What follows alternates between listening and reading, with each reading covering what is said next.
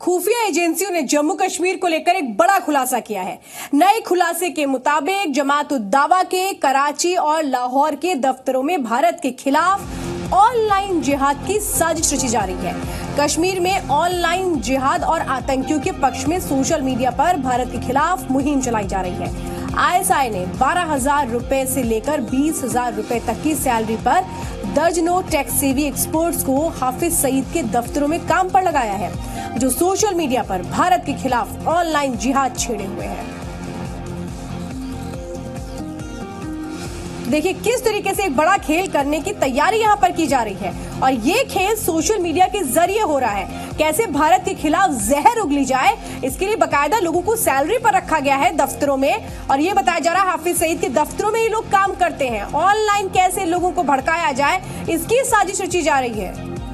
तो भारत के खिलाफ सोशल मीडिया पर आईएसआई की नापाक साजिश, जिसका पर्दाफाश हो चुका है। और कैसे इन लोगों को सबक सिखाया जाता है, ये बेहद महत्वपूर्ण हो जाता है, क्योंकि सोशल मीडिया का गलत इस्तेमाल कैसे करने की कोशिश है, भारत के खिलाफ ये खुल करके सामने आ चुका है।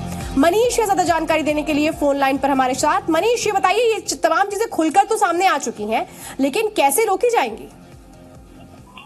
देखिए, बार बार ये होता है श्वेता कि पाकिस्तान ये दिखावा करता है कि भारत से बातचीत करना चाहते हैं, लेकिन हकीकत यही है कि उनकी पूरी जो पाकिस्तान आर्मी और ऐसा ही भारत के खिलाफ लगातार कश्मीर में वो आतंकियों की मदद कर रही है सुरक्षा बलों पर हमले करा रही है।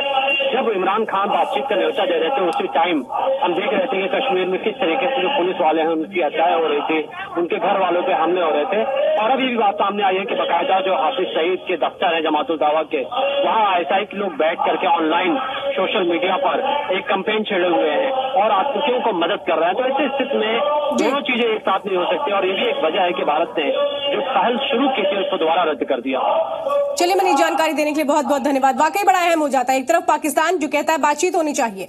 जब बातचीत रद्द की जाती है भारत की ओर से, जिस तरीके से लगातार हमारे जवानों को निशाना बनाया जा रहा था, बर्बरता की जा रही थी, उसके बाद उल्टा पाकिस्तान ये कहता है कि ऊँचे पदों पर बैठे लोगों की सोच ये है। प्रधानमंत्री को निशाने पर सीधे लिया जाता है इमरान खान की ओर से। सवाल ये है कि आखिर ये किस तरीके का चरित्र है, ये किस तरह का चेहरा है, जहाँ पर एक तरफ़ आप बातचीत की बात करते हैं और दूसरी तरफ़ कैसे पाकिस्तान के अंदर ही सोशल मीडिया के ज़रिए भारत के खिलाफ एक बड़ी साजिश रची जाती है। क्या इमरान खान ऐसे लोगों पर पाबंदी नहीं लगाएँगे? क्या ये लोग नज़र नहीं आते हैं इमरान खान को? तो क्या ऐसी सूरत में बातचीत हो सकती है?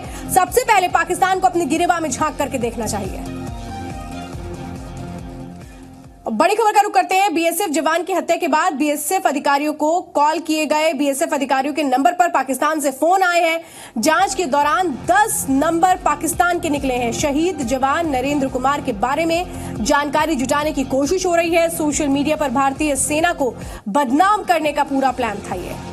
तो जाँच के दौरान दस नंबर पाकिस्तान के निकले हैं। तो बीएसएफ जवान की हत्या के बाद किस तरीके से बीएसएफ के अधिकारियों को कॉल किए गए? बीएसएफ अधिकारियों के नंबर पर ये सारे कॉल पाकिस्तान से आए थे।